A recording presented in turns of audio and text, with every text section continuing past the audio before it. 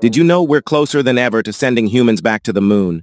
NASA's Artemis program is making history, and the future is lunar. Artemis isn't just about walking on the moon, it's about staying there. Through innovative technology and global partnerships, NASA aims to establish a sustainable base on the moon by the 2030s. Artemis I was a huge success, testing the spacecraft and systems. Next up, Artemis 2 will send astronauts around the moon.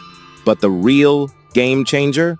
Artemis 3, where humanity will set foot near the moon's south pole for the first time, unlocking new possibilities for science and exploration. This isn't just a NASA mission, it's a human mission, paving the way for life beyond Earth and even future journeys to Mars.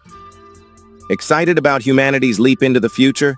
Hit like, share this video, and follow for more space updates.